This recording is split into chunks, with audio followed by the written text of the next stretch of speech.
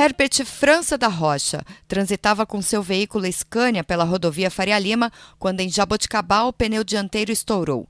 Durante a troca do pneu, o macaco falhou e o ônibus caiu em cima do motorista que morreu no local. O fato aconteceu na madrugada desta quarta-feira e o Instituto de Criminalística de Jaboticabal assumiu o caso.